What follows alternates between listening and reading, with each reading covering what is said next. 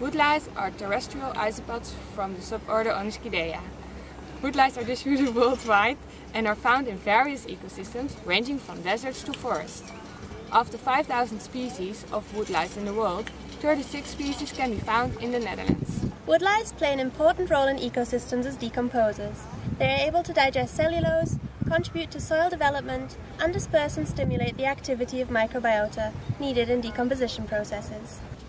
Research of the et has shown that most woodlice species display characteristic grouping behavior, known as aggregation. Aggregation involves large numbers of individuals congregating together into a certain location or shelter in close vicinity of each other. Aggregation is a social process which results in a number of costs and benefits. The costs of living in a group include spread of parasites and diseases, as well as competition for resources while the benefits include reduced predation pressure, coping with abiotic stresses, and access to resources. For woodlice in particular, aggregation has the added advantage of reducing individual water loss. It's still unclear whether the spatial distribution of woodlice is more determined by preference for grouping or by preference for shelter. Based on this, we formulated the research.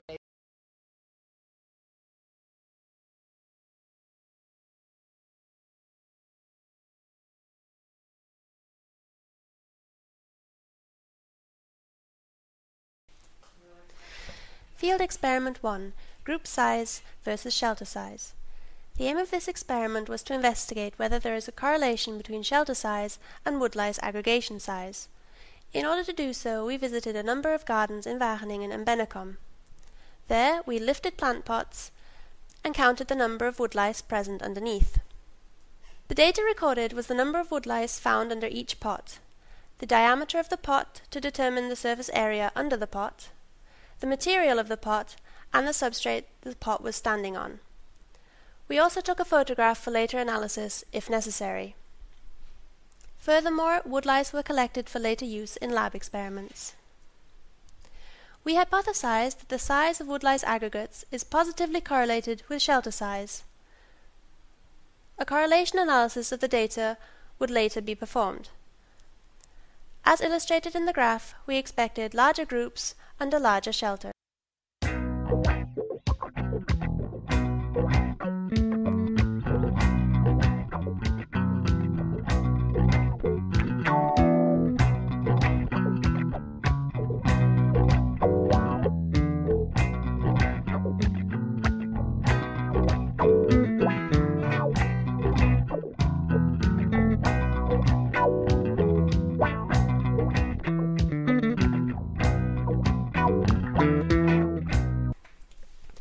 And here are the results. This graph shows the surface area of pots in centimeters on the x-axis and the number of woodlice on the y-axis. We predicted that there would be more woodlice under larger garden pots. However, this was not the case. We performed a statistical analysis in SPSS. The data was not normally distributed, so we had to perform non-parametric tests. Firstly, we explored the data using a Spearman's rank test. This indicated that there was no significant correlation. Field Experiment 2 Forest Cluster Analysis The aim of this experiment was to investigate whether woodlice form aggregates in apparently shelterless areas. In order to do so, we randomly selected open floor patches in the Oostereng forest near Wageningen.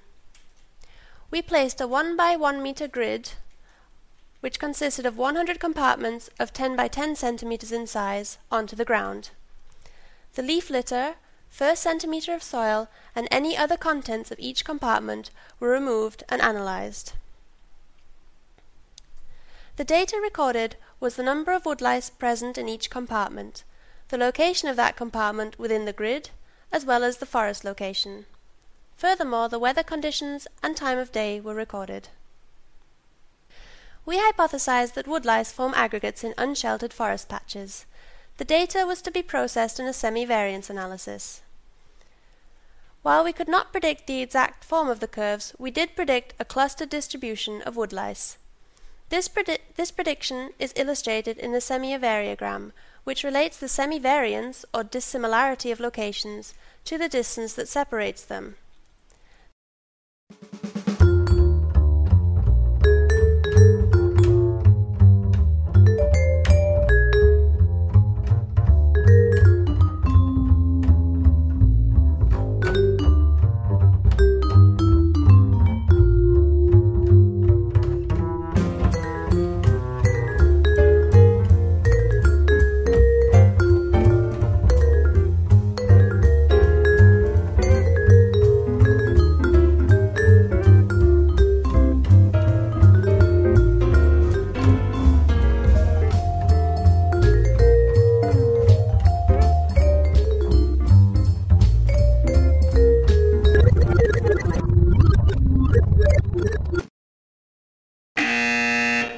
Unfortunately, the number of woodlice found in open forest areas was insufficient to perform any statistical analyses, so no conclusions can be drawn and the experiment had to be abandoned. Here, Cindy and Marietta are determining which species we have. We used the 1993 book Woodlice Keys and Notes for Identification of the Species by Oliver and Meechan, and a microscope. Here are the results.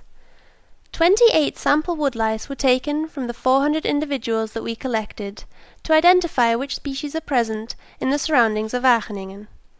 We found 9 species out of the 36 species which exist in the Netherlands.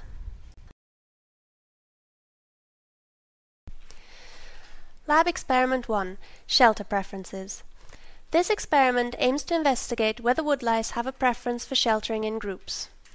Furthermore, it seeks to answer the question, at what group size does group behavior in terms of sheltering occur?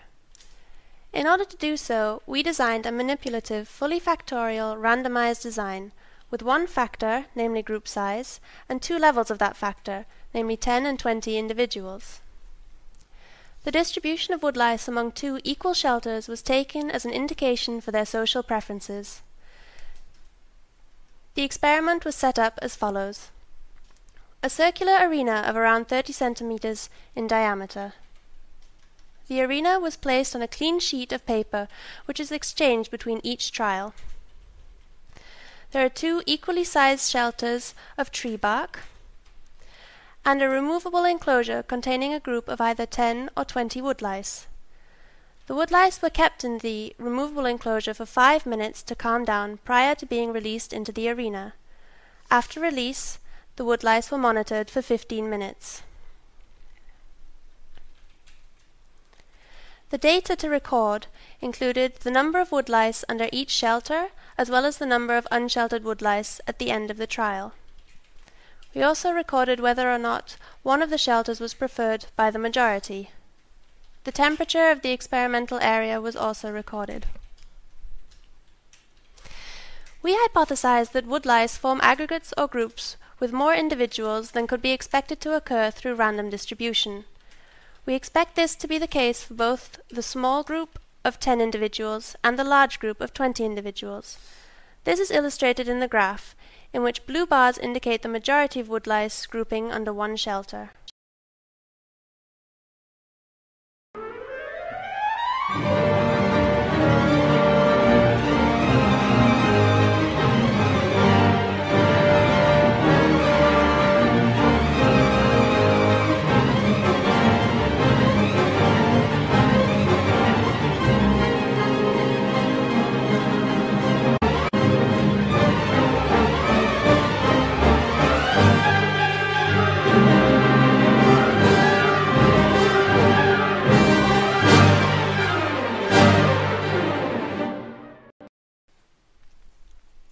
And here are the results.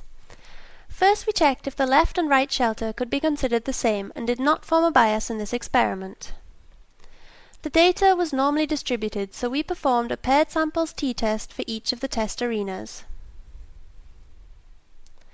There was no significant difference in preference for the two shelters in either arena, thus there is no bias and the shelters can be considered as equal. This graph shows the woodlice preference for groups of 10 and 20 woodlice. From visual inspection, it seems that woodlice prefer to shelter than to remain free. We test for a difference in preference for sheltering between the two groups of 10 and 20 individuals and found a significant difference. This means that at a larger group size of 20 individuals, there is a greater preference for sheltering than at the smaller group size of 10 individuals. Here we take a closer look at the grouping behavior of woodlice that did shelter during the experiment. This graph shows that the majority of woodlice aggregate together in one shelter, then deemed the winning shelter. To see which factors influence the grouping behavior, we carried out a binary logistic regression. The first factor is shelter, which means the total number of woodlice which seek shelter. According to the results, this has a significant effect on grouping behavior. The second factor is winning, which means the total number of woodlice in the winning shelter. This also had a significant effect on individual preference for the winning shelter. The final factor is group, which is the total number of woodlice in the trial. This does not have a significant effect on individual woodlouse preference for joining the winning shelter. Finally, we investigated the size of the winning aggregate and compared this between the two group sizes. This graph shows that the average winning aggregate size consists of around 75% of the total woodlice. There is no significant difference in winning aggregate size for the different group sizes. For the results that turned out to be significant in this lab experiment, a power analysis was carried out with the Java Power Applet. The power was 0.5897, which is not sufficient. To obtain a power of at least 0.8, a minimum of 32 replications would have been necessary.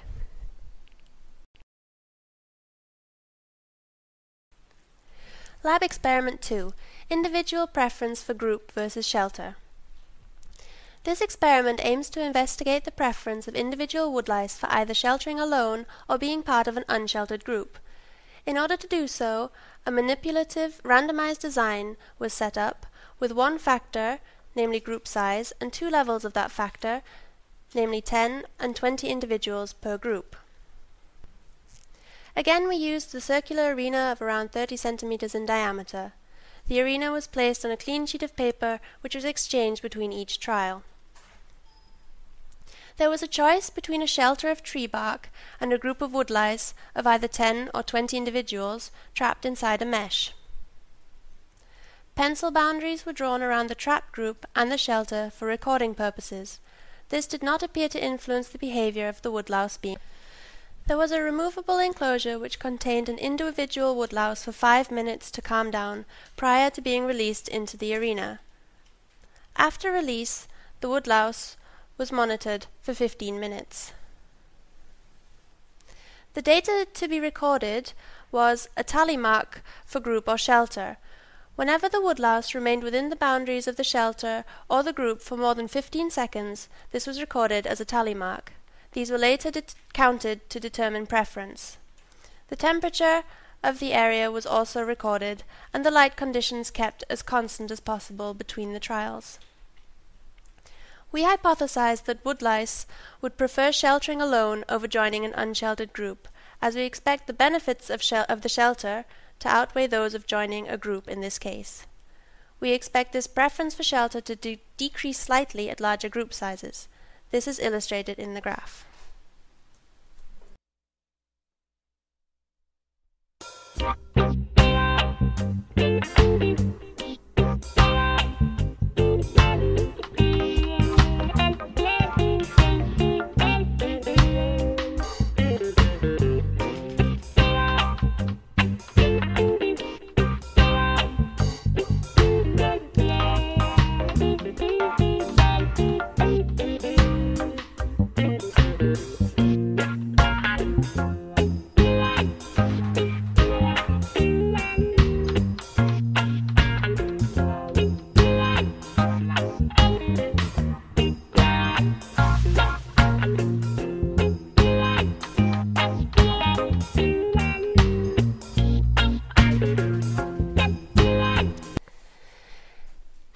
here are the results.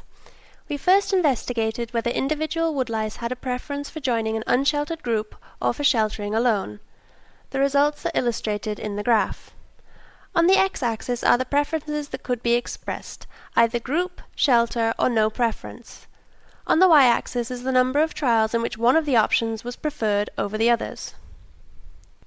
We performed a binomial test from which we can conclude that woodlice significantly prefer shelter.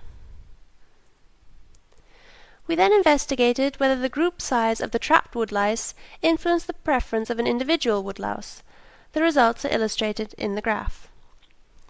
On the x-axis are the two choices, group or shelter. On the y-axis are the number of trials in which one of the two choices was preferred. We can see that when 10 woodlice were trapped, illustrated by the blue bar, the group was never preferred over the shelter. When 20 woodlice were trapped, illustrated by the green bar, the group was preferred only once. We performed a binary logistic regression from which we can conclude that there is no significant difference in preference for the group between the two group sizes. In this graph, you see the p-value on the y-axis and the number of replicates on the x-axis. As the graph shows, a minimum of 9 replicates are needed to gain a p-value below 0.05. We therefore achieved a sufficient power in this experiment. Past research has indicated the involvement of a social component in the aggregation behavior of woodlice. Our research has partly confirmed this finding. In summary, we found no correlation between shelter size and group size. There was also no relationship between pot material, underlying surface, and group size. Yeah. Woodlice social preference is likely to be influenced by the trade-off between the costs and the benefits of joining a group versus sheltering alone. Future research could further investigate the social components which influence grouping behavior in woodlice and other creatures and examine how this works in the wild. In conclusion, we can say that woodlice do experience peer pressure when selecting a shelter.